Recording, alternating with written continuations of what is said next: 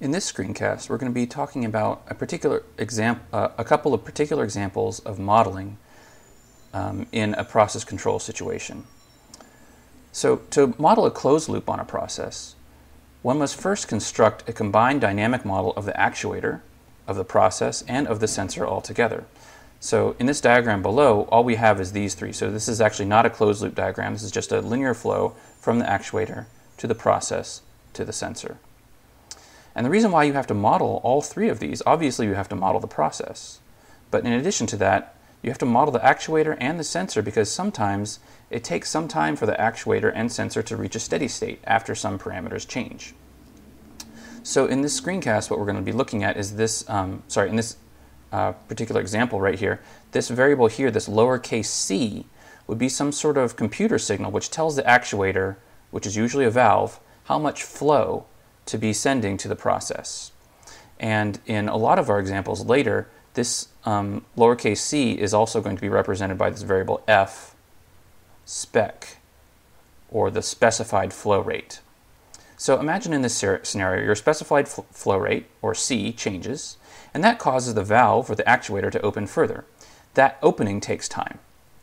Um, as that uh, happens, the flow rate will change over time, and the process dynamics the dynamics of the actual process itself will cause Y, let's say the temperature of an outflow stream, to eventually change. Once the temperature changes, it takes time for the sensor to read that temperature to the new value of uh, Y. So this value Ys will change over time.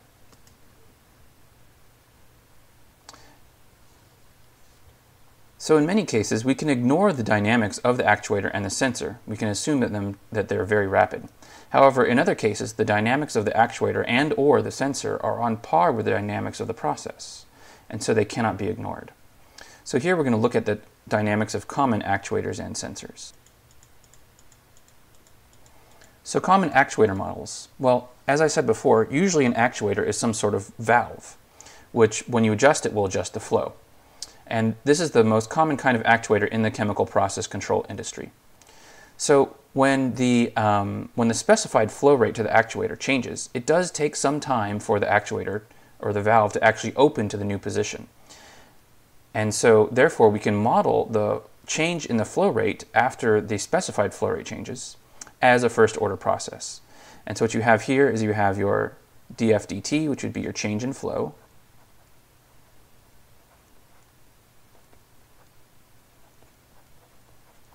is equal to 1 over tau v, where tau v would be the time constant of the valve,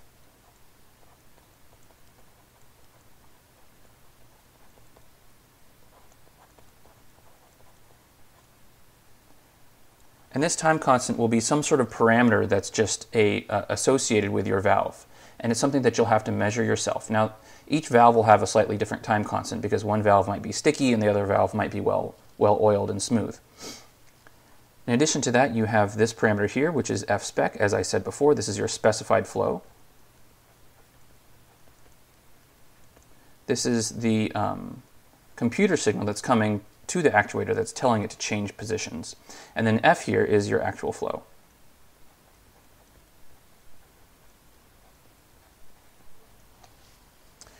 Now the time constant for actuator valves is typically between 0.5 and 2 seconds. So it's actually, they're pretty rapid. And the rule of thumb would be for, for this is generally true for every first order process.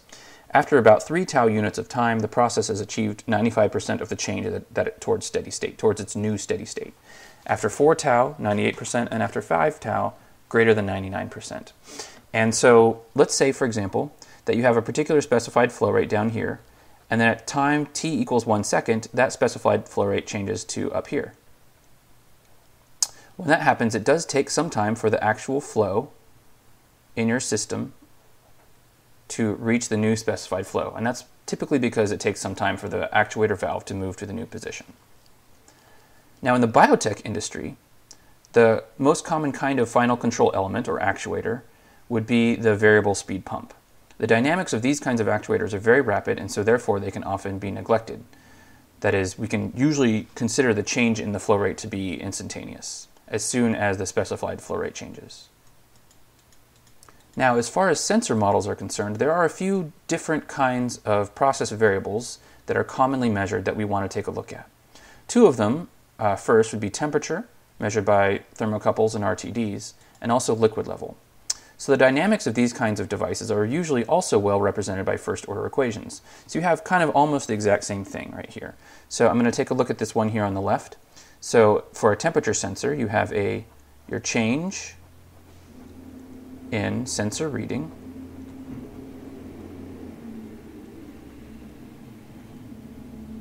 here, or your time derivative of Ts, Ts would be the sensor uh, reading of your temperature, is equal to your time constant, or 1 over your time constant,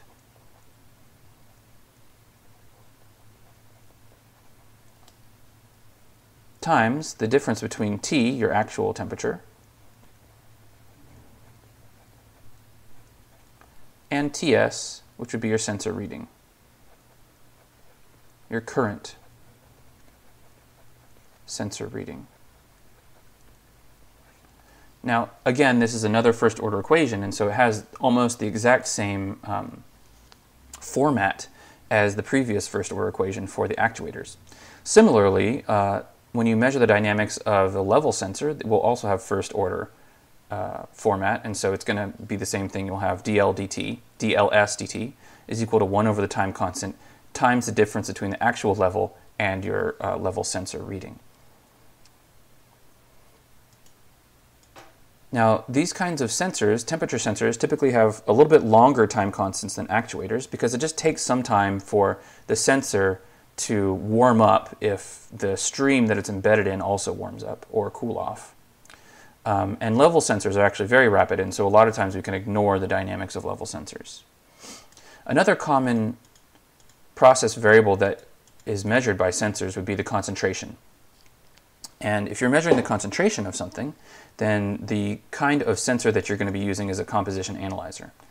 Now, this is not true of all composition analyzers, but a lot of the composition analyzers, analyzers are what are called gas chromatographs, or GCs.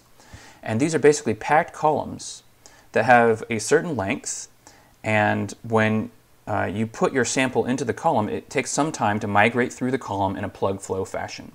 And so that time delay that it takes for that um, plug of fluid to go through the column is going to be how you model your composition analyzer dynamics. And so this composition analyzer dynamics would be one of pure time delay. So what you would have is you, your sensor reading of your concentration, sensor reading at time t is right here, and that's what you're interested in. That's your C sub s at time t is equal to your, con- your actual concentration at time t minus your time delay theta. And that's what that is. And so over time, what happens is, let's say that at a certain, at a particular time, instant in time, your concentration changes, and it's sort of changing in some sort of slow measure like this. It takes some time for that sensor reading to pick that up. And so if this is your time delay here, theta A, then one time delay after this last point that it changes, it's still reading no change. And so it takes some time, another time delay, for actually the sensor to read any change at all. And so it's going to read this point one time delay later. And it's going to read this point and one time delay later. And it's going to read this point one time delay later. And so what you're, to, what you're going to get is a stair step matching of your sensor value with respect to your actual concentration.